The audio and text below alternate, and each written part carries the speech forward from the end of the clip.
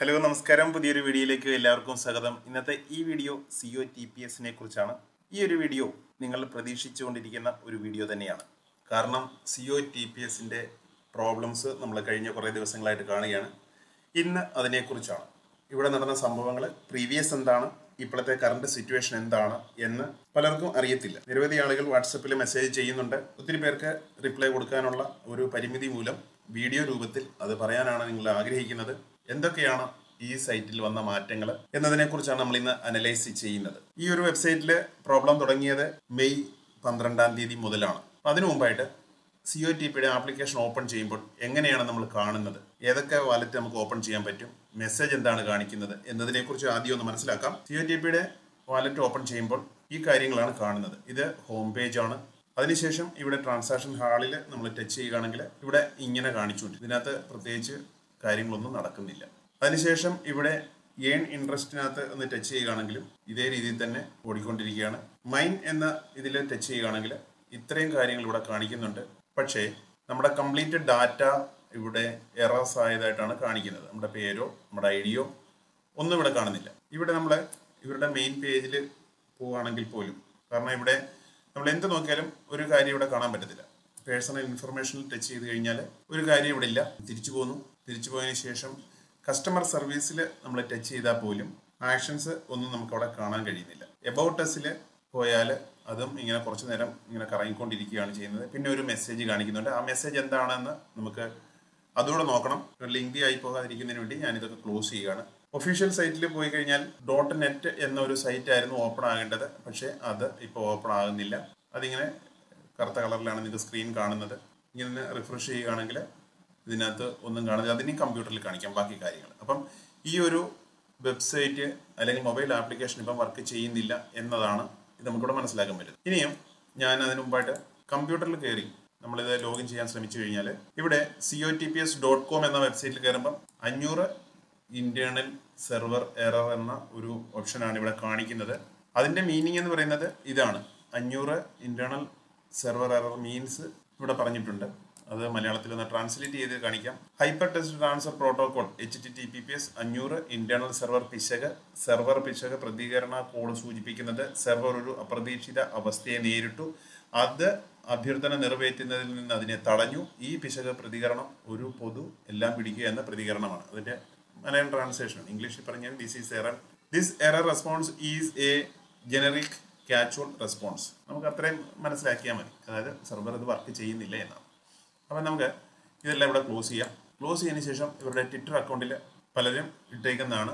നമുക്ക് കാണുന്ന ഒരു മെസ്സേജ് ഇതാണ്. ഇമ്പോർട്ടന്റ് നോട്ടീസ് ഇന്ന് ഒരു ഏകദേശം പതിനൊന്ന് മണിക്ക് ശേഷം ട്രേഡ് ചെയ്തിട്ടുള്ളവർക്ക് കാണിച്ചിരുന്ന മെസ്സേജാണ് അതിന് മുമ്പായിട്ടുള്ളവർക്ക് ഒരു പ്രശ്നമില്ല. അതായത് ഇരുപത്തിരണ്ടാം തീയതി രാത്രി ഇരുപത്തി മൂന്ന് പൂജ്യം അഞ്ച്. അതായത് അവിടുത്തെ രാത്രി തീരുന്ന സമയത്ത് U S time we were attacked by an illegal network and received a ransom email from a from an unknown hacker ഒരു ഹാക്കറിൽ നിന്ന് ഇങ്ങനെ വന്നിട്ടുണ്ട് എന്നാണ് the attack resulted in the loss of users data and platform is no longer functioning properly അതായത് ആ hack ചെയ്ത കാരണത്താൽ യൂസേഴ്സ് ഡാറ്റ എല്ലാം പോയി. We immediately commissioned a major network security provider to thoroughly analyse and problem caused by this attack and data recovery work has already begun recovery is expected to take മൂന്ന് തൊട്ട് അഞ്ച് ആഴ്ചത്തെ സമയമാണ്. We are sorry for this our sorry പറഞ്ഞ് ഇപ്പോൾ ഒഴിഞ്ഞിരിക്കുകയാണ്. ഇത് നമ്മൾ confirm ചെയ്യാനുള്ള ഓപ്ഷനാണ് നമുക്ക് വരുന്നത്. ഇതിന്റെ മീനിങ് ഇവരുടെ ഹാക്ക് ചെയ്തു എന്നാണ് ഇവർ പറയുന്നത്. ഇവർ റിക്കവർ ചെയ്യാനായിട്ട് ഏതോ ഒരാളെ ഏർപ്പാടാക്കിയിട്ടുണ്ട്. അത് മൂന്ന് തൊട്ട് അഞ്ചാഴ്ച എടുക്കും. അതായത് മൂന്ന് തൊട്ട് അഞ്ചാഴ്ച നമ്മൾ ഏകദേശം കാൽക്കുലേഷൻ ചെയ്യുകയാണെങ്കിൽ ജൂലൈ ഫസ്റ്റ് വീക്കാണ് ഇതിൽ നമുക്ക് പ്രതീക്ഷ വെക്കണോ വേണ്ടായോ എന്നതിനെക്കുറിച്ചാണ് പിന്നെ അടുത്തത്. കാരണം പല സൈറ്റുകളിലും നമുക്ക് ഇതേ കാരണങ്ങൾ കാണാൻ പറ്റും. ഹൈ റിസ്ക് ഹൈ പ്രോഫിറ്റ് സൈറ്റുകൾ ഓൾമോസ്റ്റ് സൈറ്റുകളിൽ കുറേ ദിവസങ്ങൾക്ക് ശേഷം ഇങ്ങനെയുള്ള ചില കാരണങ്ങളാൽ അവർ നിർത്തി പോകാറുണ്ട്. നമ്മൾ കണ്ടിട്ടുള്ളതാണ് മൈ ടോക്കൺ ആയെന്ന് പറഞ്ഞാലും ഐ പി ക്യാപിറ്റൽ ആണെന്ന് പറഞ്ഞാലും പല സൈറ്റുകളിലും ഇതേ റീസൺസുകളാണ് വരുന്നത്. ഹാക്ക് ചെയ്തു അല്ലെങ്കിൽ ഞങ്ങളുടെ ഫണ്ട് ലോസായി ട്രേഡ് ലോസായി പല കാരണങ്ങൾ പറഞ്ഞാണ് ഇവർ സ്റ്റോപ്പ് ചെയ്യാറുള്ളത്. C O T P S ഇതുവരെ കാണിച്ചിരുന്ന കാര്യങ്ങൾ എന്തൊക്കെയാണ്? അതിൽ നിന്ന് നമുക്ക് എന്തൊക്കെ മനസ്സിലാക്കാൻ പറ്റുന്നുണ്ട്? ഇവർ ഇങ്ങനെ ഒരു മെസ്സേജ് കാണിച്ചതിന്റെ കാരണം എന്താണ്? അപ്പം നമുക്ക് ഇതിനെക്കുറിച്ച് മനസ്സിലാക്കണമെങ്കിൽ ഇവരുടെ പ്രോബ്ലം നമുക്കിവിടെ തുടങ്ങിയത് എന്നാണ് എന്ന് നമുക്കൊന്ന് മനസ്സിലാക്കണം പ്രോബ്ലം തുടങ്ങിയത് മെയ് പന്ത്രണ്ടിനാണ്. മെയ് മാസം പന്ത്രണ്ടാം തീയതി ക്രിപ്റ്റോ മാർക്കറ്റ് കംപ്ലീറ്റ് ക്രാഷ് ആയ ഒരു സമയമാണ്. നമ്മൾ ഓരോ കാരണങ്ങൾ നോക്കി നോക്കി പറയുകയാണെങ്കിൽ മെയ് പന്ത്രണ്ടിന് ക്രിപ്റ്റോ മാർക്കറ്റ് ക്രാഷ് ആയി പല കോയിനുകളും വളരെ നല്ല വാല്യൂവിൽ നിന്ന് തീരെ താഴെ വന്ന് ലുണ കോയിലിന് ഒരു വിലയില്ലാതായിപ്പോയി ലക്ഷക്കണക്കിന് ആളുകളുടെ കോടിക്കണക്കിന് പരിപാലനം പോയിട്ടുണ്ട്. ഈവൻ ബൈനാൻസ് എന്ന ഇന്റർനാഷണൽ എക്സ്ചേഞ്ച് ലോകത്തെ ഏറ്റവും വലിയ എക്സ്ചേഞ്ച് ആയിട്ടുള്ള അവർക്ക് പോലും നാൽപ്പത് ബില്യൺ ഡോളറാണ് അന്ന് ലോസ് ആയത് പല കമ്പനികൾക്കും പല ക്രിപ്റ്റോ ഹോൾഡേഴ്സിനും ഹ്യൂജ് ലോസസ് പറ്റിയിരിക്കുകയാണ്. ഇവിടെ നമ്മൾ ഹൈ റിസ്കിലുള്ള ഒരു ബിസിനസ് ആണ് നമ്മൾ ചെയ്യുന്നത്. ഓരോരുത്തരും അവരവരുടെ സ്വന്തം കപ്പാസിറ്റി അനുസരിച്ച് അഫോർഡ് ടു ലൂസ് നഷ്ടപ്പെട്ടാലും സഹിക്കാൻ പറ്റും എന്ന ഒരു എമൗണ്ട് വെച്ച് ചെയ്യണമെന്നാണ് നമ്മൾ ആദ്യം തൊട്ട് റെക്കമെൻഡ് ചെയ്യുന്നത്. ഹൈ പ്രോഫിറ്റ് ഹൈ റിസ്ക് ആണ്. അപ്പോൾ അങ്ങനത്തെ പ്രോഗ്രാമിൽ നമ്മൾ പാർട്ടിസിപ്പേറ്റ് ചെയ്യുമ്പോൾ നമ്മൾ എല്ലാ ഫണ്ടുകളും ഒരു സൈറ്റിൽ മാത്രം നിക്ഷേപിക്കാതെ പല പല സൈറ്റുകളിൽ സിമിലർ ആയിട്ടുള്ള ഹൈ പ്രോഫിറ്റ് അല്ലെങ്കിൽ കുറഞ്ഞ പ്രോഫിറ്റ് റിസ്ക് കുറവ് എന്നുള്ള സൈറ്റുകൾ പലയിടത്തായിട്ട് നിക്ഷേപിക്കുമ്പോൾ നമുക്ക് അതിന്റെതായിട്ടുള്ള ഒരു മാനേജ് ചെയ്യാൻ പറ്റും. ഞാനൊരു ഫൈനാൻഷ്യൽ അഡ്വൈസർ അല്ല എങ്കിൽ പോലും ഒരു അറിവിന് വേണ്ടി മാത്രം ഒരു എഡ്യൂക്കേഷൻ പർപ്പസിലായിട്ട് മാത്രമാണ് പറയുന്നത്. അപ്പോൾ ഇത്തരം ഹൈ പ്രോഫിറ്റ് ഹൈ റിസ്ക് എന്ന സൈറ്റുകളിലൊക്കെ ഇൻവെസ്റ്റ് ചെയ്യുമ്പോൾ നമ്മൾ ഓരോരുത്തരും അവരുടെ റിസ്ക് ഫാക്ടർ മനസ്സിലാക്കി വേണം ചെയ്യാൻ. എല്ലാ സൈറ്റുകളിലും ഇതേ രീതിയിലുള്ള ഓപ്ഷൻസ് ഒക്കെ വരാറുണ്ട്. ഞാൻ ഓരോ വീഡിയോയിലും പ്രത്യേകം മെൻഷൻ ചെയ്യാറുണ്ട്. സ്വന്തം റിസ്കിൽ ചെയ്യാവുള്ളൂ. ലോൺ എടുത്തോ കടം മേടിച്ചോ അത്യാവശ്യത്തിന് വെച്ച് പൈസ ഒന്നും എടുത്ത് ഇത്തരം സൈറ്റുകളിൽ ഇൻവെസ്റ്റ് ചെയ്യരുത്. കാരണം ഹൈ റിസ്ക് ആണ് ഹൈ പ്രോഫിറ്റ് ആണ്. അപ്പോൾ അതവിടെ നിൽക്കട്ടെ. ഇനി പന്ത്രണ്ടാം തീയതി ക്രിപ്റ്റോ മാർക്കറ്റ് ഡൗൺ ആയപ്പോൾ പാനിക്കായിട്ട് ബൾക്ക് വിഡ്രോവൽ നടന്നു ഈ സി ഒ ടി പി എസിൽ സി ടി പി എസ് പന്ത്രണ്ടാം തീയതി ഉച്ചവരെ വിഡ്രോവലിന് യാതൊരു പ്രോബ്ലം ഇല്ലായിരുന്നു. ഉച്ചയ്ക്ക് ശേഷം ഈവനിങ് സമയം വരെ വിഡ്രോ ചെയ്തവർക്ക് അരമണിക്കൂർ ലാഗായിട്ടാണ് വിഡ്രോവൽ എമൗണ്ട് അവരുടെ വാലറ്റിലേക്ക് വരുന്നത്. അല്ലെങ്കിൽ അവരുടെ ഏതാണോ എക്സ്ചേഞ്ച് അഡ്രസ്സ് കൊടുത്തത് അതിലേക്ക് വന്നതിൽ ഏകദേശം അരമണിക്കൂറൊക്കെ ഡിലേ ആയി. പക്ഷേ രാത്രി ആയപ്പോൾ എസ് എം എസ് പ്രോബ്ലം എന്ന ഒരു ക്രിയേഷൻ അവിടെ വന്നു. അതിന്റെ റീസൺ കഴിഞ്ഞൊരു വീഡിയോയിൽ ഞാൻ കാണിച്ചിരുന്നു. ആ പന്ത്രണ്ടാം തീയതി നിരവധി ആളുകൾ ബൾക്കായിട്ട് അവരുടെ തുകകൾ പിൻവലിച്ചു തുടങ്ങി. നമ്മളൊക്കെ ചെറിയ എമൗണ്ടുകളൊക്കെ ഇൻവെസ്റ്റ് ചെയ്തെന്ന് പറഞ്ഞാലും വിദേശത്തുള്ളവർ ലക്ഷക്കണക്കിന് ഡോളറുകളാണ് ഇൻവെസ്റ്റ് ചെയ്തത് ഒരു സ്ക്രീൻഷോട്ട് പോലും ഞാൻ കാണിച്ചിരുന്നു. പന്ത്രണ്ടാം തീയതി മാത്രമായിട്ട് ആറ് ട്രാൻസാക്ഷനിലൂടെ ഒരു ലക്ഷത്തി ഇരുപതിനായിരം ഡോളർ വിഡ്രോ ചെയ്ത ഒരു കേസ് ഞാൻ വീഡിയോയിൽ മെൻഷൻ ചെയ്തിരുന്നു. അപ്പോൾ അതേപോലെ നിരവധി ആളുകൾ വിഡ്രോ ചെയ്തു. അപ്പം ഇങ്ങനെ ഒരു സിസ്റ്റം അവർ ഓട്ടോമാറ്റിക് സിസ്റ്റത്തെ സ്ലോ ചെയ്യിച്ചു. കാരണം എസ് എം എസ് വന്നെങ്കിൽ മാത്രമേ അല്ലെങ്കിൽ വെരിഫിക്കേഷൻ കോഡ് വന്നെങ്കിൽ മാത്രമേ വിഡ്രോവൽ എടുക്കാൻ പറ്റത്തുള്ളൂ. അപ്പോൾ വിഡ്രോവലിനെ അവിടെ നിർത്തുക എന്നുള്ള സൈറ്റ് അവർ ഒരിക്കലും അവർ നിർത്തിയിരുന്നില്ല. പക്ഷേ എസ് എം എസിൽ ഒരു ഡിലേ കാണിച്ചു. പക്ഷെ നമ്മളോട് പറഞ്ഞത് എന്താണ്? നമ്മൾ കസ്റ്റമർ കെയർ സ്റ്റാർട്ട് ചെയ്യുമ്പോൾ പറഞ്ഞാണ് എസ് എം എസ് പ്രോബ്ലമാണ് ഇവർക്ക് എസ് എം എസ് പ്രൊവൈഡ് ചെയ്യുന്ന ക്യൂ ക്ലൗഡ് എന്ന ആ ഒരു സർവീസ് പ്രൊവൈഡർ അവരുടെ തെറ്റുകൊണ്ടാണ് ഇങ്ങനെ പറ്റുന്നത്. ഞങ്ങൾ പുതിയൊരു ടെൻസെന്റ് എന്ന് പറയുന്ന ഒരു ഏജൻസി ഏർപ്പാടാക്കിയിട്ടുണ്ട്. അത് ഉടനെ ഇത് ക്ലിയർ ആകും എന്നൊക്കെ പറഞ്ഞു എങ്കിലും അതിന്റെ റിയാലിറ്റി നമുക്ക് മനസ്സിലാക്കാം. ബൾക്ക് വിഡ്രോവൽ എടുക്കുന്നതിന് ഇവർ കാണിച്ച ഒരു കോഡിങ്ങിൽ വരുത്തുന്ന ചെറിയൊരു മാറ്റമാണ്. ഞാൻ അതിനെക്കുറിച്ചും കഴിഞ്ഞൊരു വീഡിയോയിൽ എക്സ്പ്ലെയിൻ ചെയ്തിരുന്നു. വീഡിയോ ഫുള്ള് കാണുന്നവർക്ക് അതൊക്കെ കേട്ടിട്ടുണ്ടാവും. നമുക്ക് അത്രയുമാണ് മനസ്സിലാക്കാൻ പറ്റുന്നത്. ബൾക്ക് വിഡ്രോവൽ എടുത്തപ്പോൾ ഇവർ തന്നെ വിഡ്രോവൽ ഡിലേ ചെയ്തു. പിന്നെ പല ആളുകൾ ഞാൻ പല വീഡിയോയിലും പറഞ്ഞിട്ടുണ്ട്. ടെക്നോളജി വളർന്ന സമയമാണ്. അപ്പോൾ ബൈനാൻസിൽ കാണിച്ചിരിക്കുന്ന ഡാറ്റയും നമ്മൾ സെല്ല് ചെയ്യുക. നമ്മളിവിടെ ഡോളർ സെല്ല് ചെയ്യുകയാണ് യു എസ് ഡി ടി നമ്മൾ സെല്ല് ചെയ്യുമ്പോൾ ബൈനാൻസിലും അതുപോലുള്ള എക്സ്ചേഞ്ചുകളിൽ നിരവധി പല പല കൺട്രികളിലുള്ള ആളുകളുടെ പേരുകൾ അവിടെ മാച്ചായി കാണിക്കുന്നുണ്ട്. അപ്പോൾ ഇവർ പറഞ്ഞിട്ടുണ്ട് ഇവർക്ക് മൂവായിരത്തോളം ഒ ടി സി പ്ലാറ്റ്ഫോമിലുള്ള ബയേഴ്സിനെയും സെല്ലേഴ്സിനെയും കണക്റ്റഡ് ആണ്. നമുക്ക് അവിടെ കാണിച്ചിരിക്കുന്ന കാര്യങ്ങളൊക്കെ അത് ജസ്റ്റ് ഒരു ഫ്രണ്ട് എൻഡിൽ കാണിക്കുന്ന ഒരു കാര്യങ്ങളാണെന്ന് നമ്മൾ കഴിഞ്ഞ ദിവസങ്ങളിൽ ഇതേ സിമിലർ രണ്ട് മൂന്ന് എക്സ്ചേഞ്ചുകൾ അല്ലെങ്കിൽ പ്ലാറ്റ്ഫോമുകൾ വന്നിരുന്നു. C O T P S dot C C എന്നൊരു സൈറ്റിലും സെയിം ഇതേപോലെ തന്നെ കാണിച്ചു. അതുപോലെ തന്നെ ഒ ടി സി എ എന്ന ഒരു സൈറ്റിലും സിമിലർ ആയിട്ടുള്ള ഡാറ്റകൾ കാണിച്ചു. സ്വാപ്നെക്സ് എന്ന ഒരു എക്സ്ചേഞ്ച് അതും ഇതേ രീതിയിലൊക്കെയുള്ള ഡാറ്റകൾ നമ്മളെ കാണിച്ചു. അപ്പം ഇതൊക്കെ ഫ്രണ്ട് എൻഡിൽ കാണിക്കുന്നത് ജസ്റ്റ് ഒരു ഇമാജിനേഷൻ അല്ലെങ്കിൽ ഒരു കാൽക്കുലേഷന് വേണ്ടി മാത്രമാണ് നമുക്ക് മനസ്സിലായി. അല്ലാതെ നമ്മൾ കൊടുക്കുന്ന ഡോളർ നമ്മൾ സെല്ല് ചെയ്യുന്ന ഡോളർ അത് അവർ വാങ്ങുകയല്ലായിരുന്നു ചെയ്തത് എന്ന് നമുക്ക് ക്ലിയർ ആയിട്ട് മനസ്സിലാക്കാം അതിലൂടെ. കാരണം ഫൈനാൻസിലുള്ള പി ടു പിയിലൂടെ ഡോളർ സെല്ല് ചെയ്യാൻ ഇട്ടിരിക്കുന്ന വ്യക്തികളുടെ പേരാണ് അവിടെ കാണിച്ചത്. നമ്മൾ അവരുടെ നിന്ന് ബൈ ചെയ്യുന്ന ഓപ്ഷനാണ് നമ്മൾ ആ ഓപ്ഷൻ നോക്കുമ്പോഴാണ് അതിന്റെ മാച്ചിങ് ഡാറ്റ നമ്മൾ കാണുന്നത്. ആദ്യ സമയത്ത് പറഞ്ഞിരുന്നത്. അപ്പോൾ അതിനകത്തൊന്നും വ്യത്യസ്തമായിട്ടാണ് പിന്നീട് വന്ന ദിവസങ്ങളിൽ നമുക്ക് മനസ്സിലാക്കാൻ പറ്റിയത്. അപ്പോൾ രണ്ടാമത്തെ കാര്യം അവിടെ ശരിയായിട്ടുള്ള നമ്മൾ കൊടുക്കുന്ന ഡോളറൊന്നും ഇവരൊന്നും അല്ല വാങ്ങിയിരുന്നത് എന്നാണ്. എങ്കിലും ഇവർ പറഞ്ഞു ഞങ്ങൾ ഒ ടി സിയിലാണ് ട്രേഡ് ചെയ്തതെന്ന്. അപ്പോൾ അതിനെക്കുറിച്ചും ഞാൻ കഴിഞ്ഞ ദിവസം എന്റെ ഒന്ന് രണ്ട് പരിചയത്തിലുള്ള ആളുകൾ എന്നെ വിളിച്ചു. അവർ ബ്ലോക്ക് ചെയിൻ ടെക്നോളജി പഠിച്ചതും സോഫ്റ്റ്വെയർ എഞ്ചിനീയേഴ്സുമാണ് ചെറുപ്പക്കാരായിട്ടുള്ള നല്ല എഫക്റ്റീവ് ആയിട്ടുള്ള ഒന്ന് രണ്ട് കുട്ടികളുണ്ടായിരുന്നു ഒരാൾ യൂറോപ്പിലാണ്. അവിടെ നിന്ന് എന്നെ വിളിച്ചു കഴിഞ്ഞ ദിവസം രാത്രി മുഴുവൻ ഞങ്ങൾ ഇവരുടെ സൈറ്റിലൊക്കെ ബ്ലോക്ക് ചെയിൻ ടെക്നോളജിയാണ് നമുക്ക് കയറി കാണാൻ പറ്റും. ഡീസെൻട്രലൈസ്ഡ് ആണ്. പെട്രോൺ സ്കാനിലൂടെ ഞങ്ങൾ പല സൈറ്റുകളിൽ കയറി കണ്ടു. അവിടെ കണ്ട കാര്യങ്ങൾ അവിടെ നിങ്ങളെ അറിയിക്കാം. അപ്പം അതുകൊണ്ട് വീഡിയോ ഇട്ട് സ്കിപ്പ് ചെയ്യാതെ കാണുക. കാരണം ഈ ഇത്തരം സൈറ്റുകൾ വന്നു കഴിഞ്ഞാൽ എന്താണ് അതിനകത്ത് പോസിബിലിറ്റി എന്ന് നമ്മൾ കുറച്ച് കാര്യങ്ങളെങ്കിലും മനസ്സിലാക്കണം. അപ്പോൾ എനിക്ക് ഞാൻ മനസ്സിലാക്കിയ കാര്യങ്ങളാണ് ഷെയർ ചെയ്യുന്നത്. പല ആളുകളും പറയുന്നുണ്ട് സ്കാമായി പോയി എന്നൊക്കെ പറയുമ്പം നമുക്ക് അതിനകത്ത് യാതൊരു ഉത്തരവില്ല. കാരണം പല സൈറ്റുകളും ഇതേപോലുള്ള കോംപ്ലിക്കേഷൻസ് വരുത്തിയാണ് പോകാറുള്ളത്. ഇനിയും ഇവരുടെ വാലറ്റിൽ ഫണ്ട് ഉണ്ടോ ഇല്ലയോ എന്നൊക്കെ നമ്മളിവിടെ കാണുന്നുണ്ട്. കണ്ടു കഴിഞ്ഞാൽ അതിശയിച്ചു പോകുന്ന രീതിയിൽ ഫണ്ട് ഇവരുടെ കയ്യിലുണ്ട്. നമ്മുടെ ഫണ്ട് എടുത്ത് അവർ ട്രേഡ് ചെയ്യുക എന്നാണ് നമ്മളോട് പറഞ്ഞത്. പക്ഷെ അവിടെ ഒരു ട്രേഡിംഗ് അല്ല നടന്നത് എന്ന് നമുക്ക് മനസ്സിലാക്കാൻ പറ്റും. ഒ ടി സി പ്ലാറ്റ്ഫോമിലൊന്നും ട്രേഡിംഗ് അല്ല ഇവിടെ നടന്നത് എന്ന് കഴിഞ്ഞ ദിവസം ഞങ്ങൾക്ക് ഇതിൽ നിന്ന് ക്ലിയർ ആയിട്ട് മനസ്സിലായി. പക്ഷെ ഇവർക്ക് ഫണ്ട് ഇഷ്ടം പോലെ ഉണ്ട്. തരാനാണെങ്കിൽ ലക്ഷക്കണക്കിന് വാരിയെറിയാൻ ഇവരുടെ ഫണ്ടുണ്ട് ഇതിനുള്ള കാരണങ്ങൾ എന്തൊക്കെയാണ്? അതിനെക്കുറിച്ച് നമ്മൾ അനലൈസ് ചെയ്യണം. കാരണം ബൾക്ക് വിഡ്രോവൽ നടന്ന സമയത്ത് എസ് എം എസിൽ ഇവരുടെ ഡിലേ വരുത്തി കോഡിങ്ങിൽ ചെറിയൊരു മാറ്റം വരുത്തി വിഡ്രോവൽ എടുക്കാൻ പറ്റിയിട്ടില്ല ആർക്കും. അപ്പോൾ വിഡ്രോവൽ സ്റ്റോപ്പായി വിഡ്രോവൽ സ്റ്റോപ്പ് ആയപ്പം ഇൻവെസ്റ്റേഴ്സ് എല്ലാം പാനിക്കായി അതായത് ലക്ഷക്കണക്കിന് ഡോളർ ഇൻവെസ്റ്റ് ചെയ്ത വിദേശികളുണ്ട്. അവരൊക്കെ പാനിക്കായി അവർ ബൾക്ക് വിഡ്രോവൽ എടുത്തു. അപ്പോഴാണ് സ്റ്റോപ്പ് ആകുന്നത്. അവർ സഹിച്ചില്ല. അവർ ബൈനാൻസിൽ കസ്റ്റമർ സപ്പോർട്ടിൽ കയറി കംപ്ലൈന്റ് ചെയ്തു. അത് കഴിഞ്ഞൊരു വീഡിയോയിൽ ഞാൻ അതിനെക്കുറിച്ച് ക്ലിയർ കാണിച്ചു. ബൈനാൻസിന്റെ കസ്റ്റമർ സപ്പോർട്ടിൽ കാണിച്ചിരിക്കുന്ന ഡാറ്റ എന്തൊക്കെയാണ് അതിനെക്കുറിച്ച്. ഞാൻ അതിനു മുമ്പായിട്ട് കസ്റ്റമർ സപ്പോർട്ടിൽ കഴിഞ്ഞ ദിവസം എനിക്ക് വീണ്ടും കിട്ടിയ ഒന്ന് രണ്ട് സ്ക്രീൻഷോട്ടുകളൂടെ കാണിച്ചിട്ട് നമുക്ക് മുമ്പോട്ട് നീങ്ങാം. ഇവിടെ ബൈനാൻസിന്റെ നിരവധി ആളുകൾ കംപ്ലൈന്റ് ചെയ്തപ്പോൾ അവർ കൊടുത്ത മറുപടികളാണ് ഇവിടെ കാണിക്കുന്നത്. ഇത് ബൈനാൻസിന്റെ എംബ്ലമാണ് നമുക്ക് കാണാൻ പറ്റും. അവർ കൊടുത്തിരിക്കുന്ന കാര്യങ്ങളാണ്. ബൈനാൻസിന്റെ ആർബിട്രേറ്റ് ട്രേഡിംഗ് ഇവർ ചെയ്യുന്നുണ്ടോ എന്നൊക്കെയുള്ള ചോദ്യങ്ങളാണ് മേളിൽ ചോദിച്ചത്. അപ്പോൾ അവർ കൊടുത്തിരിക്കുന്ന കാര്യങ്ങളാണ്. സി യു ടി വിസ് and independent business that use Binance API for its liquidity and other book are in fact an independent company from Binance.com. All the account functions including withdrawal request are dealt by COTPS and Binance.com has no influence or responsibility over your account and withdrawal function on this site അതായത് ഇവർ അതിന്റെ ഉത്തരവാദികളൊന്നുമല്ല എന്നാണ് ഇത് പറയുന്നത് അതിനുശേഷമുള്ള ഒരു സ്ക്രീൻഷോട്ടിനകത്ത് നമുക്ക് കാണാൻ പറ്റും ഇത് ബൈനാൻസുമായിട്ട് ആളുകൾ കംപ്ലൈന്റ് ചെയ്ത്. അവരുടെ കംപ്ലൈന്റ് ഐ ഡിയും കാര്യങ്ങളൊക്കെ ഇവിടെ സ്ക്രീൻഷോട്ടുകൾ നമുക്ക് കിട്ടിയിട്ടുള്ളതാണ്. ഇവർ പറഞ്ഞിട്ടുണ്ട് ഓരോ കാര്യങ്ങളും അവർ പറയുന്നുണ്ട്. നിങ്ങൾ എന്താണ് ഇനി ഫർദർ ചെയ്യേണ്ടത് എന്നതിനെ കുറിച്ചൊക്കെയാണ്.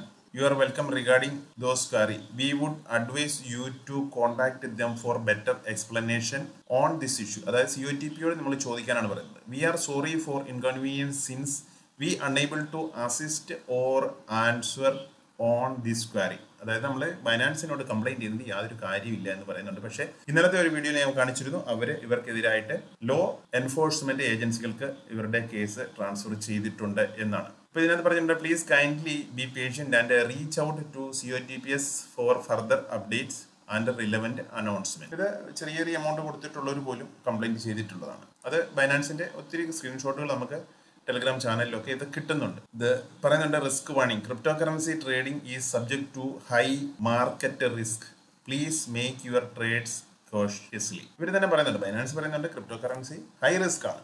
നമ്മൾക്ക് ഹൈ റിസ്കിലാണ് ക്രിപ്റ്റോ കറൻസി വാങ്ങുന്നതോ വിൽക്കുന്നതോ അല്ലെങ്കിൽ ഇതുപോലുള്ള പ്ലാറ്റ്ഫോമിലൊക്കെ ചെയ്യുന്നതൊക്കെ ഹൈ റിസ്ക് തന്നെയാണ് നമുക്കറിയാം.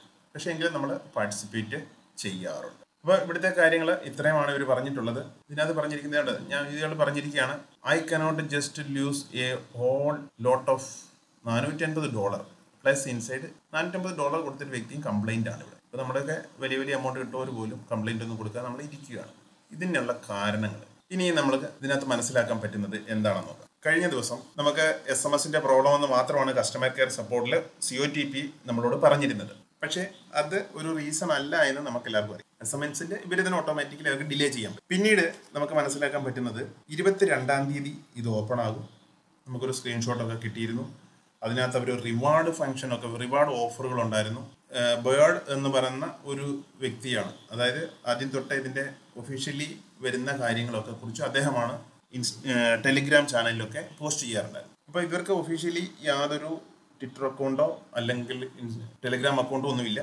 ഇതേപോലുള്ള ഇവരുടെ ടോപ്പ് മാനേജ്മെന്റുള്ള ആരെങ്കിലുമൊക്കെ ആണ് അത്തരം മെസ്സേജുകളൊക്കെ ഷെയർ ചെയ്തിരുന്നത് എന്ന് നമുക്ക് മനസ്സിലാക്കാം. ബൈനാൻസിൽ കംപ്ലൈന്റ് കൊടുത്തപ്പോൾ ബൈനാൻസിൽ കംപ്ലൈന്റ് കൊടുത്തപ്പോൾ ബൈനാൻസ് ഇവർക്കെതിരായിട്ട് ലോ എൻഫോഴ്സ്മെന്റ് ഏജൻസികളെ ഇവരുടെ കേസ് ഏൽപ്പിച്ചിട്ടുണ്ട് എന്ന് കഴിഞ്ഞ ദിവസം പറഞ്ഞതാണ്. ഇപ്പോൾ ഓരോ കസ്റ്റമർ സർവീസിൽ ഇരിക്കുന്ന ആളുകൾ പല കാര്യങ്ങളാണ് ഇവർക്ക് പറഞ്ഞു കൊടുക്കുന്നത്. ഓട്ടോമാറ്റിക്കായി ഇവരുടെ പല അക്കൗണ്ടുകളും മർച്ചന്റ് അക്കൗണ്ടാണ് നമ്മളൊക്കെ പേഴ്സണൽ അക്കൗണ്ടാണ് ഇത്തരം വലിയ വലിയ ബിസിനസ് ചെയ്യുന്നവർക്ക് മർച്ചന്റ് അക്കൗണ്ടുകളായിരിക്കും അവരെ കുറിച്ചുള്ള എ ടു ഇസഡ് കാര്യങ്ങൾ ഫൈനാൻസിൽ അവൈലബിൾ ആണ്. പക്ഷെ അവരൊന്നും ഡിസ്ക്ലോസ് ചെയ്തില്ല കാരണം നമ്മളൊരു പേഴ്സണൽ അക്കൗണ്ട് എടുത്താൽ പോലും നമ്മൾ കെ വൈ സി ചെയ്ത് നമ്മുടെ ക്ലിയർ ആണെങ്കിലേ നമുക്ക് ഒരു അഡ്രസ്സ് ഒരു തരത്തുള്ളൂ. അപ്പോൾ ഇത്രയും വലിയ ഫണ്ടുകൾ ട്രാൻസ്ഫർ ചെയ്യുന്നവരുടെ കംപ്ലീറ്റ് ഡാറ്റ ബൈനാൻസിലും ഉണ്ട്. പക്ഷെ അവർ ഒരിക്കലും ഡിസ്ക്ലോസ് ചെയ്തില്ല ഇതാരാണ് എവിടെയാണ് ഓഫീസ് എന്നൊന്നും പറയത്തില്ല. മറ്റുള്ളവർക്ക് പറയാനുള്ളൊരു അവകാശം ബൈനാൻസിലില്ല കാരണം അത്തരം കാര്യങ്ങൾ സീക്രട്ടാണ് അല്ലെങ്കിൽ ഗവൺമെന്റ് ഓർഗനൈസേഷൻസ് അല്ലെങ്കിൽ ഗവൺമെന്റ് ഡിപ്പാർട്ട്മെന്റിൽ ചോദിച്ചെങ്കിൽ മാത്രമേ അവരുടെ ഡാറ്റ അവർക്ക് കൈമാറാൻ പറ്റൂ അപ്പം അത്രയും കാര്യങ്ങൾ നമ്മളിവിടെ നോക്കി. ബൈനാൻസ് ഇവരുടെ ഒന്ന് രണ്ട് അക്കൗണ്ടുകൾ ഫ്രീസ് ചെയ്തു. അതിനുശേഷമാണ് രണ്ട് ദിവസം മുമ്പ് നമുക്ക് വന്ന മെസ്സേജ് നമുക്ക് അറിയാൻ പറ്റും. അതിൽ പറഞ്ഞിരുന്നു ബൈനാൻസുമായിട്ടുള്ള ഇന്റഗ്രേഷനിൽ ചെറിയ പ്രോബ്ലം ഉണ്ട്. എങ്കിലും ഇരുപത്തിരണ്ടാം തീയതി പൂജ്യം പൂജ്യം പൂജ്യം പൂജ്യം അവേഴ്സിൽ ഇത് ക്ലിയർ ചെയ്യുമെന്നാണ് പ്രതീക്ഷിക്കുന്നത്. അതിനുശേഷം വിഡ്രോവലൊക്കെ നോർമൽ ആകുമെന്ന് പറഞ്ഞിരുന്നു. പക്ഷേ കംപ്ലൈന്റ് ചെയ്യുന്നവർ നിരവധിയാണ് എന്ന് നമ്മൾ മറക്കേണ്ട ബിയാ- ബൈനാൻസിൽ മാത്രമല്ല കംപ്ലൈന്റ് പോയിട്ടുള്ളത് എന്ന് നമ്മൾ വിചാ- നമുക്ക് മനസ്സിലാക്കാൻ പറ്റും. കാരണം നമുക്ക് പ്രൂഫ് ഒന്നും ഇല്ല എങ്കിലും നമുക്കൊരു ഇമാജിനേഷൻ ചെയ്യാൻ പറ്റും. ഇവിടെ ഇത്രയും കംപ്ലൈന്റ് കൊടുത്തിട്ടുണ്ടെങ്കിൽ അമേരിക്കയിലും കാനഡയിലും രജിസ്റ്റർ ചെയ്തിട്ടുള്ള ഈ കമ്പനിക്ക് അവിടുത്തെ ആ അതോറിറ്റിയിൽ ഫിൻസെനിലും ഫിൻട്രാക്കിലും കംപ്ലൈന്റ് ചെയ്യുന്നതിൽ യാതൊരു ബുദ്ധിമുട്ടുമില്ല. അവരും ഇതിനെതിരായിട്ട് ഇത്രയും വലിയൊരു സ്കാം നടക്കുകയാണ് എന്ന് മനസ്സിലാകുമ്പോൾ അല്ലെങ്കിൽ വിഡ്രോവൽ കൊടുക്കുന്നില്ല എന്ന് മനസ്സിലാക്കുമ്പോൾ അവരും ഇതിന്റെ മേളിൽ എൻക്വയറീസ് വെക്കും. അല്ലെങ്കിൽ ഇൻവെസ്റ്റിഗേഷൻസ് വെക്കാൻ ചാൻസസ് ആണ്. നമുക്ക് പ്രൂഫ് ഇല്ല എങ്കിലും നമുക്ക് മനസ്സിലാക്കാൻ പറ്റും. അവർ അമേരിക്കക്കാരാണ് കൂടുതൽ ഇതിനകത്തുള്ളത്. അവർ കംപ്ലൈന്റ് കൊടുത്തു കാണും. ഫിൻസനിൽ അല്ലെങ്കിൽ ഫിൻട്രാക്കിൽ കാനഡയിലുള്ളവർ കൊടുത്തു കാണും. അപ്പോൾ ഇവർക്ക് മേലിൽ ഒരു ഇൻവെസ്റ്റിഗേഷൻ വരും. ഇൻവെസ്റ്റിഗേഷൻ വരുമ്പോൾ ഇവർക്ക് സൈറ്റ് ക്ലോസ് ചെയ്യേണ്ടതായിട്ട് വരും. കാരണം പിന്നീട് ഒരു ട്രാൻസാക്ഷനും കമ്മ്യൂണിക്കേഷൻ ഇല്ലാതെ കംപ്ലൈന്റ് ചെയ്തവർക്ക് സാധാരണഗതിയിൽ സെറ്റിൽമെന്റ് ആണ് സാധാരണ നടത്തുന്നത്. പക്ഷേ ഇവരുടെ ജസ്റ്റിഫിക്കേഷൻ അവിടെ കൊടുത്തെങ്കിലേ ഇവർക്ക് പിന്നീട് വർക്ക് ചെയ്യാൻ പറ്റത്തുള്ളൂ. അപ്പൊ ഇവരെ അടുത്ത ഒരു മെസ്സേജ് നമുക്ക് കിട്ടും ഞങ്ങളുടെ സൈറ്റ് ഹാക്ക് ചെയ്തു. ഡാറ്റ റിക്കവർ ചെയ്യാനായിട്ട് ഞങ്ങൾ ഏജൻസി ഏൽപ്പിച്ചിട്ടുണ്ട്. അപ്പൊ നമുക്ക് ഇതിനകത്തുനിന്ന് അനുമാനിക്കാവുന്നത് ഒന്നിൽ ഇത് ഹാക്ക് ചെയ്തിട്ടുണ്ടാവും. കാരണം വലിയ വലിയ ഇൻവെസ്റ്റേഴ്സ് ഒത്തിരിയുണ്ട് ഹാക്ക് ചെയ്തിട്ടുണ്ടെങ്കിൽ ഇവർ പറഞ്ഞിരിക്കുന്ന കാര്യം ശരിയാണ്. സെക്കൻഡ് നമുക്ക് മനസ്സിലാക്കാൻ പറ്റുന്നത് ഫിൻസെനിലും ഫിൻട്രാക്കിലും ഒക്കെ കംപ്ലൈന്റ് പോയിട്ടുണ്ടെങ്കിൽ അവിടുത്തെ ഏജൻസികൾ ഇവരുടെ മേളിൽ ഇൻവെസ്റ്റിഗേഷൻ വെക്കും. അപ്പോൾ ഇവർക്ക് തന്നെ ഇങ്ങനെ ഒരു നോട്ടീസ് കാണിച്ചിട്ട് ഈ ഡാറ്റ കുറച്ച് നാളത്തേക്ക് മാറ്റി വെക്കാം. ഇതിന്റെ ബാക്കപ്പ് ഉള്ളതാണ്. ഇവർ അലിബാബയുടെ സെർവറാണ് യൂസ് ചെയ്തത്. അലിബാബയുടെ ആണെങ്കിലും Amazon web server A W S ആണ് യൂസ് ചെയ്യുന്നതെങ്കിലും ഓരോ സെക്കൻഡിലെയും ബാക്കപ്പ് അവിടെ സ്റ്റോർ ആണ്. അപ്പൊ സെർവറിൽ നിന്ന് ഡാറ്റ ഒന്നും പോകത്തില്ല. സെർവർ അല്ല ഹാക്ക് ചെയ്യുന്നത്. ഇവർ പറഞ്ഞു സെർവർ ഹാക്ക് ചെയ്തെന്നാണ് പറഞ്ഞത്. സെർവർ ഹാക്ക് ചെയ്യാന്ന് പറഞ്ഞാൽ ഇവർക്ക് കൺസേൺ അല്ല. സെർവർ ഹാക്ക് ചെയ്യണേ അലിബാബ പോലൊരു സർവീസ് പ്രൊവൈഡർ ഒരിക്കലും അവരുടെ എക്സ്ചേഞ്ച് ഒന്നും ആരും ഹാക്ക് ചെയ്തില്ല വെബ്സൈറ്റുകൾ ഹാക്ക് ചെയ്യും. സി ഒ ടി പിയുടെ വെബ്സൈറ്റ് വേണമെങ്കിൽ ഹാക്ക് ചെയ്യാം. പക്ഷെ അവരുടെ മെസ്സേജിൽ സെർവർ ഹാക്ക് ചെയ്തു ഡാറ്റ പോയെന്നാണ്. അത് ബാക്കപ്പ് എടുക്കാനായിട്ട് അവർ ശ്രമിക്കുന്നു എന്നാണ്. പക്ഷേ അലിബാബയുടെ സെർവർ ഒന്നും ഹാക്ക് ചെയ്യാനായിട്ട് സാധാരണ ആരെക്കൊണ്ടൊന്നും പറ്റത്തില്ല. അപ്പോൾ ഇവരുടെ വെബ്സൈറ്റ് വേണമെങ്കിൽ ഹാക്ക് ചെയ്യാൻ പറ്റും. പക്ഷേ അതൊക്കെ നമുക്കൊരു സെക്കൻഡറി ആയിട്ട് വെക്കാം. ഒരു പക്ഷേ ഇവരുടെ മേളിൽ എൻക്വയറികൾ വന്നപ്പോൾ ബൈനാൻസിൽ പോലും കംപ്ലൈന്റ് വന്നപ്പോൾ ഇവരെ നമ്മളോട് പറഞ്ഞിട്ടില്ല ബൈനാൻസിൽ കംപ്ലൈന്റ് വന്നെന്ന്. പക്ഷേ ബൈനാൻസിന്റെ കസ്റ്റമർ സപ്പോർട്ട് എന്നുള്ള ചാറ്റ് ഹിസ്റ്ററികളാണ് നമ്മൾ കണ്ടത്. അപ്പോഴാണ് നമ്മൾ മനസ്സിലാക്കുന്നത് ബൈനാൻസിൽ ഇവർക്കെതിരെ കംപ്ലൈന്റ് പോയിട്ടുണ്ട്. ബൈനാൻസ് അവരുടെ ലോ എൻഫോഴ്സ്മെന്റ് ഏജൻസികൾക്ക് ഇവരുടെ കേസ് ഹാൻഡ് ഓവർ ചെയ്തിട്ടുണ്ട് എന്നും ബൈനാൻസ് പറഞ്ഞപ്പോഴാണ് നമ്മൾ അറിയുന്നത്. ഇവർ സി ഒ ടി പി നമ്മളോട് ആ കാര്യങ്ങളൊന്നും എക്സ്പ്ലെയിൻ ചെയ്തിട്ടില്ല. എസ് എം എസ് കോഡുകൾ ആണ് വിഡ്രോവൽ നടക്കാത്തതെന്ന് പറഞ്ഞു. അതൊന്നും അല്ലാന്ന് നമുക്ക് ഇതിനകത്തൊന്നും മനസ്സിലാക്കാം. പിന്നെ ഉള്ള കാര്യം എന്ന് പറയുന്നത് ഇരുപത്തി മൂന്നാം തീയതി നമുക്ക് മെസ്സേജ് കിട്ടുന്നു. ഹാക്ക് ചെയ്തു എന്ന്. ഇരുപത്തി മൂന്നാം തീയതിയാണ് ഹാക്ക് ചെയ്തു. അതുകൊണ്ട് ഡാറ്റ എല്ലാം പോയി എന്ന് പറയുന്നു. അപ്പൊ നമുക്ക് മനസ്സിലാക്കാൻ പറ്റുന്നത് ഇവർക്കെതിരായിട്ട് ഫിൻസെനിലും ഫിൻട്രാക്കിലും കംപ്ലൈന്റ് പോയിട്ടുണ്ടാവും. അതുകൊണ്ട് എൻക്വയറി നടക്കും. ഇവർ ഒരുപക്ഷെ പ്രതീക്ഷിക്കുന്നത് മൂന്ന് തൊട്ട് അഞ്ചാഴ്ച എന്ന് പറയുന്നത് ജൂലൈ ഫസ്റ്റ് വീക്ക് തിരിച്ചു വരാൻ പറ്റും. ഇവർക്ക് ബാക്കപ്പ് എടുക്കുന്നതിന് വളരെ ഈസിയാണ് അതൊന്നും ഒരു പ്രശ്നം വരത്തില്ല. എല്ലാവരുടെ ഡാറ്റ അതേപോലെ ആ സിറ്റീസ് തിരിച്ചു വരാം. തരണമെന്നുള്ളവരാണെങ്കിൽ ഇവർ തരുമോ ഇല്ലയോ എന്ന് നമുക്ക് വീണ്ടും അനലൈസ് ചെയ്യണം. കാരണം ഇവർക്ക് ഫണ്ട് ഉണ്ടോ ഇല്ലയോ? എവിടേക്കാണ് ഇവർക്ക് ഫണ്ട് പോകുന്നത്? എവിടെ നിന്നാണ് ഇവർക്ക് ഫണ്ട് കിട്ടുന്നത്? എന്നതിനെക്കുറിച്ച് കഴിഞ്ഞ ദിവസം ഞങ്ങൾ ആ രണ്ട് ചെറുപ്പക്കാരായിട്ടുള്ള എഫക്റ്റീവായിട്ടുള്ള ബ്ലോക്ക് ചെയിൻ ടെക്നോളജി പഠിച്ചിട്ടുള്ള അല്ലെങ്കിൽ സോഫ്റ്റ്വെയർ എഞ്ചിനീയേഴ്സ് ആയിട്ടുള്ള രണ്ട് ചെറുപ്പക്കാരുമായിട്ട് ഞാൻ സംസാരിച്ചു. അതിൽ നിന്ന് കിട്ടിയ കുറേ ഡാറ്റ ഞങ്ങൾ അനലൈസ് ചെയ്തത് ഞാൻ വീണ്ടും കാണിക്കാം. അപ്പം എവിടെ ഏത് സൈറ്റിൽ നിന്നാണ് ഇവർക്ക് ഫണ്ട് വരുന്നത് എന്ന് ഞാൻ അവിടെ മറച്ചു വെക്കും. ബാക്കി ഡാറ്റ അവരുടെ വരുന്ന ഫണ്ടിന്റെ ഡീറ്റെയിൽസ് നമുക്ക് കാണാൻ പറ്റും. കാരണം അത് പബ്ലിക്കിൽ കാണിച്ചു കഴിഞ്ഞാൽ നിങ്ങൾക്ക് കയറി നോക്കാം. നിങ്ങൾ ഓരോരുത്തരും കയറി നോക്കാം. പക്ഷെ ഞാൻ ഒരു യൂട്യൂബ് വീഡിയോയിലായതുകൊണ്ട് ആ ഒരു ഏത് സൈറ്റിൽ നിന്നാണ് വരുന്നതെന്ന് ഞാൻ പറയത്തില്ല. അത് എങ്ങനെയുള്ള സൈറ്റ് ആണ് എന്ന് നിങ്ങൾക്ക് ഓരോരുത്തരും കയറി കഴിഞ്ഞാൽ മനസ്സിലാക്കാൻ പറ്റും. അപ്പോൾ അതിന് ഞാൻ എന്റെ ബൈനാൻസിന്റെ അക്കൗണ്ട് ഇവിടെ ഓപ്പൺ ചെയ്തിരിക്കുകയാണ്.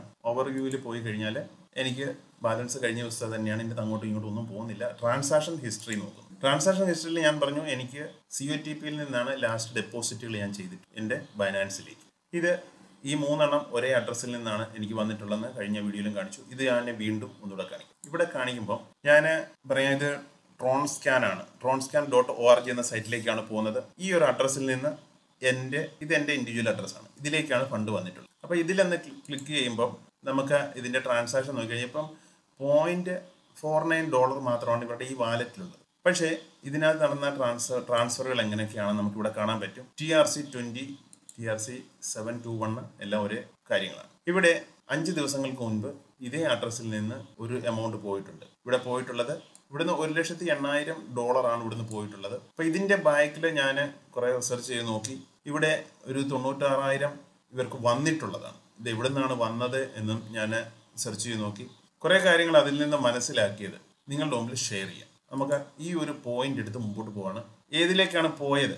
ഇവരുടെ ഈ വാലറ്റ് അഡ്രസ്സിൽ നിന്ന് പോയിരിക്കുന്നത് എവിടേക്കാണ് ലാസ്റ്റ് ഇപ്പോൾ പറഞ്ഞ വാലറ്റ് ഇവിടെ കാര്യമാണ് അതായത് ആറ് ടി ആർ എക്സ് മാത്രമേ വാല്യൂ ഉള്ളൂ. പക്ഷേ ഈ ഒരു ലക്ഷത്തി എണ്ണായിരം ഡോളർ പോയത് എവിടേക്കാണെന്ന് നോക്കണമെങ്കിൽ ഈ ഒരു അഡ്രസ്സ് നമ്മൾ സെർച്ച് ചെയ്യണം. ഈ ഒരു അഡ്രസ്സ് സെർച്ച് ചെയ്യുമ്പോൾ അവിടെ ഒരു ഡോളറിന്റെ ഒരു മൂന്ന് സീറോ പോയിന്റ് സീറോ ത്രീ മാത്രമേ ഉള്ളൂ ഈ വാലറ്റ് പക്ഷേ ഈ വാലറ്റിലേക്ക് പോയിട്ടുള്ളതാണെങ്കിൽ ഈ വാലറ്റുമായിട്ട് കണക്റ്റ് ആയിട്ടുള്ള അക്കൗണ്ടുകൾ നമുക്ക് സെർച്ച് ചെയ്യാം. അതിനുവേണ്ടി ഞാൻ ട്രാൻസ്ഫറൻസിൽ പോയി. ട്രാൻസ്ഫറിൽ പോയിട്ട് ഇവിടെ T R C twenty select ചെയ്യാം ട്വന്റി സെലക്ട് ചെയ്തപ്പോൾ നമുക്ക് ഈ അഡ്രസ്സിലേക്ക് വന്ന എമൗണ്ടുകളും ഇവിടുന്ന് പോയ എമൗണ്ടുകളും നമുക്ക് ചെക്ക് ചെയ്യാം. അപ്പോൾ ആദ്യം നമുക്ക് ഇതിലേക്ക് വന്നത് നോക്കാം. ഇന്നായിട്ടുള്ളത് ഇവിടുന്ന് ഇന്നായിട്ടുള്ളത് നോക്കിക്കഴിഞ്ഞാൽ ഈ അഡ്രസ്സ് ഓട്ടോമാറ്റിക് ഇവിടെ വരും. ഇവിടെ വരുമ്പോൾ കാണിക്കുന്നത് നിങ്ങൾ നോക്കുക രണ്ട് ലക്ഷം ഡോളർ ഇത് ഇന്നാണ് ഇവരുടെ ഈ സൈറ്റിലേക്ക് ഇന്നായിട്ടുള്ളതാണ് ഇത് എവിടെ നിന്നാണ് വന്നത് എന്ന് നോക്കിക്കഴിഞ്ഞാൽ ഇത് ഒരു അഡ്രസ്സാണ് അപ്പോൾ ഞാൻ ഈ സൈഡിൽ കാണിച്ചിരിക്കുന്നത് മറച്ചു വെച്ചിരിക്കുകയാണ്. ഇത് നിങ്ങൾക്ക് കാണണ്ട. നിങ്ങൾ ഓരോരുത്തരും നോക്കി മനസ്സിലായി. ഇതേടെ ഒരു ലക്ഷത്തി എണ്ണായിരം ഡോളറിന്റെ ഈ ഒരു ട്രാൻസാക്ഷൻ ഇവിടെ കാണുന്നുണ്ട്. ഇത് നമ്മൾ നോക്കി പോകുമ്പോൾ ഇത് ഇന്നാണ് അതായത് ഞാൻ പറഞ്ഞ എനിക്ക് വിഡ്രോവൽ തന്ന വാലറ്റിൽ നിന്ന് ഇതേ വാലറ്റിലേക്ക് പോയിട്ടുണ്ട് ഇത് പോയതാണ്. ഇവിടുന്ന് പോകുമ്പം ഈ വാലറ്റിൽ ഇന്നാകുകയാണ് ചെയ്യുന്നത്. അതായത് ഈ മേളിൽ കാണിച്ചിരിക്കുന്ന ഈ വാലറ്റിലേക്ക് ഇന്നാകുകയാണ് ഇതിനെക്കുറിച്ചാണ് നമ്മൾ കുറേ റിസർച്ച് ചെയ്ത് നോക്കി. ഇവിടെ നിങ്ങൾക്ക് കാണാൻ പറ്റും രണ്ട് ലക്ഷം ഡോളർ ഇന്നായി ഇവിടുന്ന് രണ്ട് ലക്ഷം ഡോളർ ഇന്നായി പക്ഷേ ഏത് സൈറ്റിൽ നിന്നാണെന്ന് നമ്മൾ വീണ്ടും നോക്കേണ്ടതായിട്ടുണ്ട്. ഇവിടെ വന്നപ്പം ഏഴ് ലക്ഷത്തി എൺപത്തി നാലായിരം ഡോളർ വീണ്ടും ഇന്നായിട്ടുണ്ട്. ഇവിടെ രണ്ട് ലക്ഷം ഡോളർ വീണ്ടും ഇന്നായിട്ടുണ്ട്. ഇവിടെ ഏഴ് ലക്ഷത്തി എൺപത്തി നാലായിരം ഡോളർ വീണ്ടും ഇവരുടെ വാലറ്റിലേക്ക് ഇന്നായിട്ടുണ്ട്. ഇത് എവിടെ നിന്നാണ് വരുന്നത്?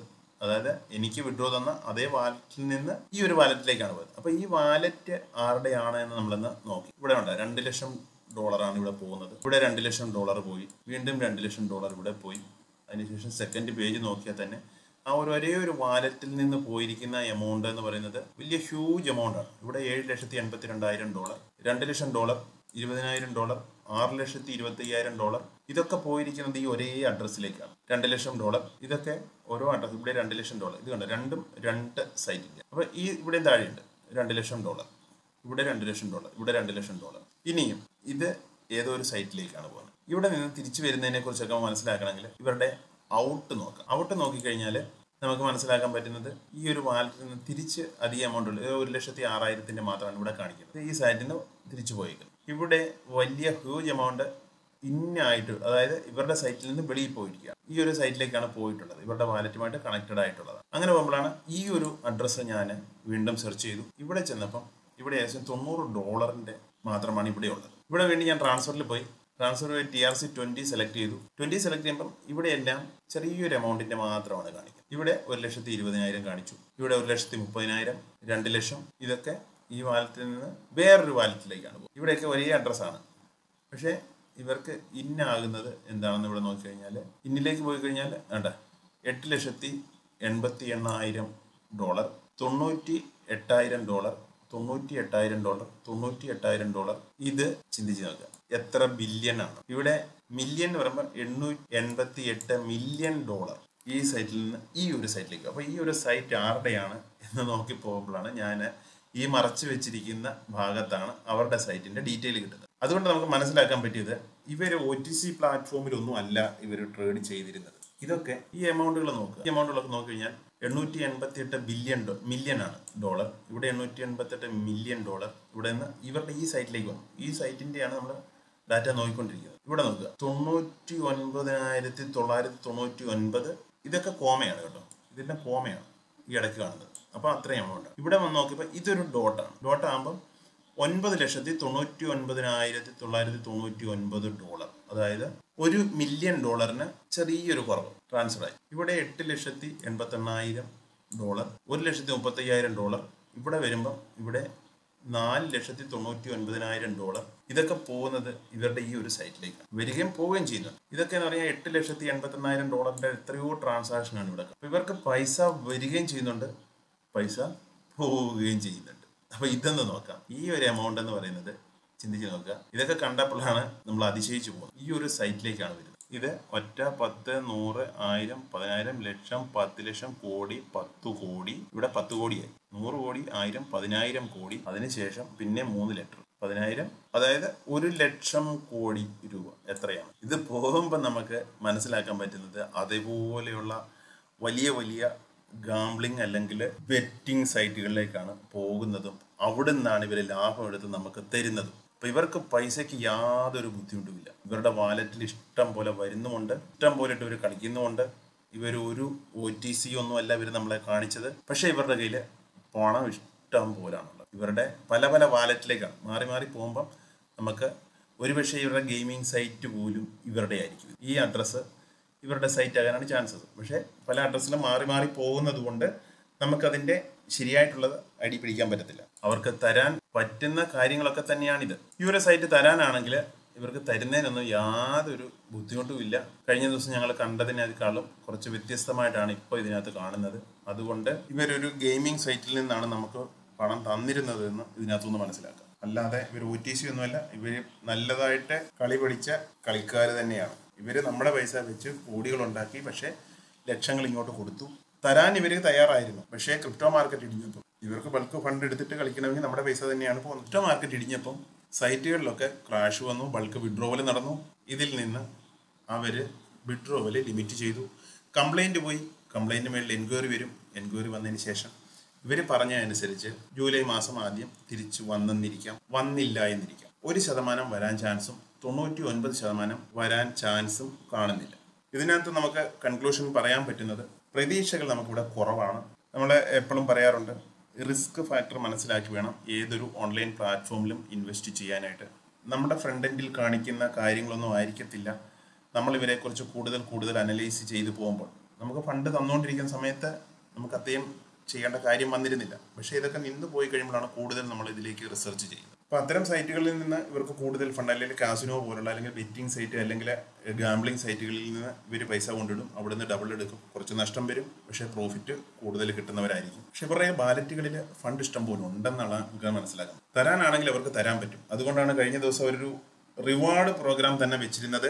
അതിൽ പറഞ്ഞിരുന്നു പതിനായിരം ഡോളർ ഹോൾഡ് ചെയ്യുന്നവർക്ക് അയ്യായിരം ഡോളർ ഞങ്ങൾ റിവാർഡ് തരാമെന്ന്. അപ്പോൾ അവർക്ക് പണം ഇഷ്ടം പോലുണ്ട് പക്ഷേ ആരും പാനിക്കായിട്ട് വിഡ്രോ ചെയ്ത് പോകരുതെന്നാണ് അന്നും പറഞ്ഞത്. ഇതൊക്കെ കൊണ്ട് നമുക്ക് മനസ്സിലാക്കാൻ പറ്റുന്നത് ഇവർക്ക് ഇവരുടെ ഇൻവെസ്റ്റിഗേഷൻ ഇവർക്ക് ക്ലെയിം ചിറ്റ് കൊടുത്തെങ്കിൽ മാത്രമേ ഇവർക്ക് തിരിച്ച് വീണ്ടും ഇവർക്ക് പൈസ ഉണ്ടാക്കാം. നമ്മുടെ പൈസ വെച്ച് ഇവർക്ക് പൈസ ഉണ്ടാക്കുകയും ചെയ്യാം. നമുക്ക് കുറച്ച് തന്നാൽ മതിയല്ലോ. ഇവർക്ക് ക്ലെയിം ചിറ്റ് കിട്ടിയിട്ടില്ല എങ്കിൽ അതായത് ഇൻവെസ്റ്റിഗേഷൻ ഏജൻസികളിൽ നിന്നോ അല്ലെങ്കിൽ ഫിൻട്രാക്ക് ഫിൻസെന്നോ പോലുള്ള ഏജൻസികൾ ഇവർക്ക് മേലിൽ എന്തെങ്കിലും ഇൻവെസ്റ്റിഗേഷൻ നടത്താതിരിക്കത്തില്ല. കാരണം ഇത്രയും വലിയ വലിയ എമൗണ്ടുകളാണ് വലിയൊരു സ്കാം ആയി എന്ന് വേണമെങ്കിൽ നമുക്ക് പറയാൻ പറ്റും അതിനെ. നമുക്ക് ഫണ്ട് തിരിച്ചു തരാതിരിക്കുമ്പോൾ ഒരു സൈറ്റ് വർക്കിംഗിലായി വർക്കിങ്ങിലായിരിക്കുമ്പോൾ അത് ഫ്രോഡ് ആണെന്നോ സ്കാം ആണെന്നോ പറയാൻ പറ്റത്തില്ല. എന്നാണോ അത് നിൽക്കുന്നത്? അപ്പോഴാണ് നമ്മൾ സ്കാം ആയി അല്ലെങ്കിൽ ഫ്രോഡ് ആയി എന്ന് പറയുന്നത്. അപ്പോൾ ഇപ്പോൾ അതിനെ നമുക്ക് വേണമെങ്കിൽ സ്കാം ആയി എന്ന് നമുക്ക് ഇതിനെ നിജപ്പെടുത്താൻ പറ്റും. അതുകൊണ്ടാണ് നമ്മൾ പറയുന്നത് ഹൈ പ്രോഫിറ്റ് കിട്ടുന്നതൊക്കെ ഹൈ റിസ്ക് കളികളാണ്. കൈവിട്ട് കളി ആരും ചെയ്യാതിരിക്കുക. എല്ലാ വീഡിയോയിലും പറയുന്ന പോലെ അഫോർഡ് ചെയ്യാൻ പറ്റുന്ന എമൗണ്ടുകൾ മാത്രം ഇൻവെസ്റ്റ് ചെയ്യുക. അതാണ് വീണ്ടും വീണ്ടും എനിക്ക് സജഷനായിട്ട് പറയാനുള്ളത്. എല്ലാം കൂടെ കൊണ്ട് ഒരു സൈറ്റിൽ ഇൻവെസ്റ്റ് ചെയ്യാതെ കുറച്ച് കൂടുതൽ ലാഭം കിട്ടുന്നത് കൂടുതൽ റിസ്ക് ആണ്. കുറച്ച് ലാഭം എങ്കിൽ പോലും ബാങ്കുകളിലൊക്കെ നിക്ഷേപിക്കുന്നതിനേക്കാളും കുറച്ചുകൂടെ കൂടുതൽ പ്രോഫിറ്റ് കിട്ടുന്നുണ്ട്. ഏറെക്കുറെ ജെന്യൂൻ ആയിട്ട് ഒന്നിനെ നമുക്ക് ജെന്യൂൻ ആണെന്ന് ഒരു സൈറ്റിനെ നമുക്ക് പറയാൻ പറ്റത്തില്ല. ഈവൻ ബാങ്കുകൾ പോലും. നമ്മൾ കോപ്പറേറ്റീവ് ബാങ്കുകളൊക്കെ നമ്മൾ കാണുന്നുണ്ട്. എത്രയോ ആളുകളുടെ പൈസയാണ് കോപ്പറേറ്റീവ് ബാങ്കിൽ സ്കാം ആയി പോകുന്നത്. കേരളത്തിലുള്ള കോപ്പറേറ്റീവ് ബാങ്കുകൾ നമ്മൾ കാണുന്നത് അപ്പോൾ ഒന്നിനെ നമുക്ക് വിശ്വസിക്കാൻ പറ്റാത്തൊരവസ്ഥയാണ്. ഏറെക്കുറെയൊക്കെ വിശ്വസിക്കാൻ പറ്റുന്ന സൈറ്റുകളിൽ. പ്രോഫിറ്റുകൾ കുറവായിരിക്കും. ഒരു എസ് ബി ഐ പോലെ നാഷണലൈസ്ഡ് ബാങ്കിൽ കൊണ്ടു കൊടുക്കുമ്പം പ്രോഫിറ്റ് കുറവായതുകൊണ്ടാണ് കോപ്പറേറ്റീവ് ബാങ്കിലെ ആളുകളും കൂടെ നിന്ന് അവിടുന്ന് പ്രോഫിറ്റ് കൂടുതലാണ്. പലിശ കൂടുതൽ കിട്ടും. അപ്പോൾ അവിടെ റിസ്ക് കൂടുതൽ. എസ് ബി ഐ പോലുള്ള അല്ലെങ്കിൽ മറ്റുള്ള നാഷണലൈസ്ഡ് ബാങ്കുകളിലൊക്കെ പ്രോഫിറ്റ് കുറവാണ് നമുക്ക് കിട്ടുന്നത്. അല്ലെങ്കിൽ ഇൻട്രസ്റ്റ് കുറവാണ് കിട്ടുന്നത്. റിസ്ക്കും കുറവാണ്. പക്ഷേ ഒന്നും നമുക്ക് വിശ്വസിക്കാൻ പറ്റത്തില്ല. ബാങ്കുകളൊക്കെ ഇപ്പം ബാങ്ക് റപ്റ്റ് ആയിക്കൊണ്ടിരിക്കുകയാണ്. കാരണം ബാങ്കിൽ പണമില്ല. ലോൺ എടുത്തവരൊന്നും തിരിച്ചടയ്ക്കുന്നില്ല. അങ്ങനെയുള്ള സാഹചര്യത്തിൽ ബാങ്കുകൾ പോലും ഒരുപക്ഷെങ്കിൽ പൊട്ടിപ്പോകാനൊക്കെ ചാൻസസ് ഉണ്ട്. അപ്പോൾ സർക്കാർ അവരെയൊക്കെ കുറേയൊക്കെ സഹായിക്കും. നിരവ് മോദിയും വിജയമല്യൊക്കെ എടുത്തുകൊണ്ട് പോയ പൈസയൊക്കെ നമ്മളൊക്കെയാണ് കൊടുക്കുന്നത്. അതിനാണ് എ ടി എമ്മിൽ നിന്നൊക്കെ പല പല വിഡ്രോവലിനും പല പല ഫീസുകളൊക്കെ വെക്കുന്നത്. അപ്പോൾ അതൊക്കെ നാച്ചുറലി അത് നടന്നുകൊണ്ടേയിരിക്കും. ഓരോരുത്തരും സ്വന്തമായിട്ട് അനലൈസ് ചെയ്തതിന് ശേഷം മാത്രമേ ഇൻവെസ്റ്റ്മെന്റുകൾ ചെയ്യാവുള്ളൂ. യൂട്യൂബിലൊക്കെ നിരവധി ആളുകൾ വീഡിയോ ചെയ്യുന്നുണ്ട്. ഇത്തരം സൈറ്റുകളൊക്കെ ഞാൻ ആദ്യ സമയത്ത് ഇതിനെക്കുറിച്ച് വീഡിയോ ഇട്ടപ്പോഴൊക്കെ എടുത്ത് ഡബിളൊക്കെ എടുത്തിട്ടുണ്ട്. പക്ഷേ എങ്കിലും ഞാൻ അവരോടും പറയുന്നുണ്ട് റിസ്ക് ആണ് റിസ്ക് ആണ് റിസ്ക് ആണ്. ഹൈ പ്രോഫിറ്റിൽ ഹൈ റിസ്ക് ആണ്. അപ്പോൾ അതിന്റെ അനുസരിച്ച് മാത്രം ഏതൊരു സൈറ്റിൽ നിങ്ങൾ ഇൻവെസ്റ്റ് ചെയ്യുക ഇനിയും നിരവധി സൈറ്റുകൾ ഇതുപോലൊക്കെ വന്നെന്നിരിക്കാം പല യൂട്യൂബേഴ്സും വീഡിയോകൾ ചെയ്തെന്നിരിക്കാം ഞാനും. കാരണം എനിക്ക് കിട്ടുന്ന ഒരു ഓപ്പർച്യൂണിറ്റി അത് സ്കാം ആണോ അല്ലയോ നമുക്ക് സ്കാം ആയതിനു ശേഷമേ സ്കാം ആയെന്ന് പറയാൻ പറ്റൂ ജീവിച്ചിരിക്കുന്ന ഒരു മനുഷ്യൻ മരിച്ചു എന്ന് നമുക്ക് പറയാൻ പറ്റത്തില്ല. അപ്പോൾ പ്ലാറ്റ്ഫോമുകൾ അതിനെ അനലൈസ് ചെയ്യാൻ നമ്മൾ പഠിക്കണം. റിസ്ക് ഫാക്ടർ മനസ്സിലാക്കണം. എല്ലാ ഓൺലൈൻ ബിസിനസ് റിസ്ക് ആണ്. നമുക്ക് അഫോർഡ് ചെയ്യാൻ പറ്റുന്ന എമൗണ്ടുകൾ മാത്രം ഇൻവെസ്റ്റ് ചെയ്യുക. അതെല്ലാം കൂടെ കൊണ്ടുവന്ന് ഒരു സൈറ്റിൽ ഇൻവെസ്റ്റ് ചെയ്യാതെ പല മൾട്ടിപ്പിൾ പ്ലാറ്റ്ഫോമുകൾ ഇൻവെസ്റ്റ് ചെയ്ത് കഴിഞ്ഞാൽ നമുക്കൊരു സ്റ്റേബിൾ ആയിട്ട് പോകാം. അധികം ലോസ് ഇല്ലാതെ പ്രോഫിറ്റ് തന്നെ കൂടുതൽ കിട്ടും. അത്തരം സൈറ്റുകളിൽ ഇൻവെസ്റ്റ് ചെയ്ത് കഴിഞ്ഞാൽ ഒരു പക്ഷേങ്കിൽ നിങ്ങളുടെ എമൗണ്ട് കുറേയൊക്കെ സേഫ് ആകും. അപ്പോൾ ഇന്നത്തെ വീഡിയോ സി ഒ ടി പിയെ കുറിച്ചാണ് കൂടുതൽ ലെങ്തിയായി പറഞ്ഞു പറഞ്ഞു പോന്നപ്പോൾ ഒരു നാച്ചുറൽ സംസാരം പോലെ ആയിപ്പോയി. അതുകൊണ്ട് വീഡിയോ കാണുന്നവർക്ക് ഇതൊക്കെ മനസ്സിലാവും എന്തൊക്കെയാണ് ഞാൻ പറഞ്ഞത്. ഫുള്ള് വീഡിയോ കണ്ടിട്ടുള്ളവർക്ക് നന്ദി. അപ്പൊ ഇനിയും ഇതിൽ പ്രതീക്ഷ വെക്കണോ വേണ്ടയോ എന്ന് നമ്മളൊന്ന് അനലൈസ് ചെയ്ത് ഇവർക്ക് ഫണ്ടുണ്ട് ഇവരുടെ പക്ഷേ ഇവർക്ക് പോലീസിൽ നിന്നോ അല്ലെങ്കിൽ ഏതെങ്കിലും അതുപോലെ ഇൻവെസ്റ്റിഗേഷൻ ഏജൻസികളിൽ നിന്ന് ക്ലീൻ ചിറ്റ് കിട്ടുകയാണെങ്കിൽ ഇവർ വീണ്ടും തിരിച്ചു വരും. അത് ഉറപ്പാണ്. എന്റെ നല്ലൊരു ഇൻവെസ്റ്റ്മെന്റ് ഇതിനകത്തുണ്ട്. പക്ഷേ റിസ്ക് മനസ്സിലാക്കിയാണ് ഞാനത് ഇട്ടിരിക്കുന്നത്. ആരെയും കുറ്റം പറയാൻ പറ്റത്തില്ല. എനിക്കൊരു ഹിന്ദി ബെൽറ്റിൽ നിന്നാണ് ഇത് കിട്ടിയത് എന്ന് പറഞ്ഞ് അവരെ പറയാൻ പറ്റും. ഞാൻ എന്റെ സ്വന്തം റിസ്കിലാണ് ഞാൻ ഇട്ടത്. ഓരോരുത്തരോടും ഞാൻ പറയുന്നുണ്ട്. സ്വന്തം റിസ്കിലേ ചെയ്യാവുള്ളൂ അഫോർഡ് ചെയ്യാൻ പറ്റുന്ന എമൗണ്ടുകളെ ചെയ്യാവുള്ളൂ എന്നൊക്കെ പറഞ്ഞിട്ടുണ്ടെങ്കിലും ആളുകളൊക്കെ എല്ലാവരും സ്വന്തം റിസ്കിലാണെങ്കിലും ഇത്തരം കമ്പനികളൊക്കെ പൊട്ടിപ്പോകുമ്പോൾ യൂട്യൂബ് വീഡിയോ ചെയ്ത ആളുകളെ കുറ്റം പറയും. അത് സ്വാഭാവികമാണ്. നമുക്ക് അതിനകത്തൊന്നും ചെയ്യാൻ പറ്റത്തില്ല. അപ്പം ഓരോരുത്തരും അവരുടേതായിട്ടുള്ള അനലൈസ് ചെയ്തതിന് ശേഷം മാത്രം ഇത്തരം പ്ലാറ്റ്ഫോമിൽ ഇൻവെസ്റ്റ് ചെയ്യുക. നിരവധി പ്ലാറ്റ്ഫോം ഉണ്ട് ലാഭം കുറഞ്ഞതും കൂടിയതൊക്കെ ആയിട്ടുള്ള പ്ലാറ്റ്ഫോം ഞാൻ അതുകൊണ്ട് ഞാൻ പല കാറ്റഗറിയിലാണ് ചെറിയ ചെറിയ എമൗണ്ട് ആണെങ്കിൽ ഇൻവെസ്റ്റ് ചെയ്യുന്നത് കൊണ്ട് വലിയ ലാഭം ഒരിടത്തുനിന്ന് പോയി കഴിഞ്ഞാൽ അടുത്തതിനകത്തുനിന്ന് കുറച്ചൊക്കെ നമുക്ക് കവർ ചെയ്യാൻ പറ്റും. അങ്ങനെയുള്ള സൈറ്റുകളിൽ ഞാൻ ചെയ്യാറുള്ളത് കൊണ്ടാണ് ഞാൻ നിങ്ങളോട് ഷെയർ ചെയ്യുന്നത്. ഇന്നത്തെ വീഡിയോ ഇത്ര മാത്രം. സി ഒ ടി എഫിനെ കുറിച്ച് ഇനിയും ഇത് മെയ് മാസം സോറി ജൂലൈ മാസത്തിൽ വരികയാണെങ്കിൽ അതിനെക്കുറിച്ച് കൂടുതൽ വീഡിയോ അറിയാം. വന്നിട്ടില്ല എങ്കിൽ ഇതിനെക്കുറിച്ച് കൂടുതൽ വീഡിയോ ചെയ്തിട്ട് കാര്യമില്ല. കാരണം ഏകദേശമൊക്കെ നമുക്ക് മനസ്സിലായി. ഒരു ഇൻവെസ്റ്റിഗേഷനൊക്കെ വരികയാണെങ്കിൽ അവർക്ക് അതിനകത്തുനിന്ന് ക്ലീൻ ചിറ്റ് കിട്ടുകയോ അവർ പുറത്ത് വരികയൊക്കെ ചെയ്യുന്നത് ചുരുക്കമാണ്. പിന്നെ പൈസ ഉള്ളത് കൊണ്ട് ഇവർക്കൊക്കെ ഏത് സിസ്റ്റത്തിൽ നിന്ന് വേണമെങ്കിലും വെളിയിൽ പോകാം അപ്പോൾ രക്ഷപ്പെടാൻ പറ്റുന്ന പണം ഉണ്ടല്ലോ. പണത്തിന്റെ പവർ ഇവർക്കുണ്ടെങ്കിൽ ഇവർക്ക് രക്ഷപ്പെടാൻ പറ്റും. ബാക്കിയുള്ള ഇൻവെസ്റ്റേഴ്സിന്റെ പൈസ ലോസും ആകും. തരാനാണെങ്കിൽ ഇവരുടെ ഈ പണമുണ്ട് ഇഷ്ടം പോലെ. അങ്ങനെയാണെങ്കിൽ ജൂലൈ മാസം ആദ്യം ഈ സൈറ്റ് റീസ്റ്റാർട്ട് ആകാൻ ചാൻസസ് കാണുന്നുണ്ട്. പക്ഷേ അത് ഒരു ശതമാനം മാത്രമാണ്. തൊണ്ണൂറ്റൊൻപത് ശതമാനം പോയി എന്ന് വേണം കരുതാം എല്ലാ കൂട്ടുകാർക്കും നല്ലൊരു ദിവസം കൂടി ആശംസിക്കുന്നു. പുതിയൊരു വീഡിയോയിൽ വീണ്ടും കാണാം. നന്ദി. നമസ്കാരം.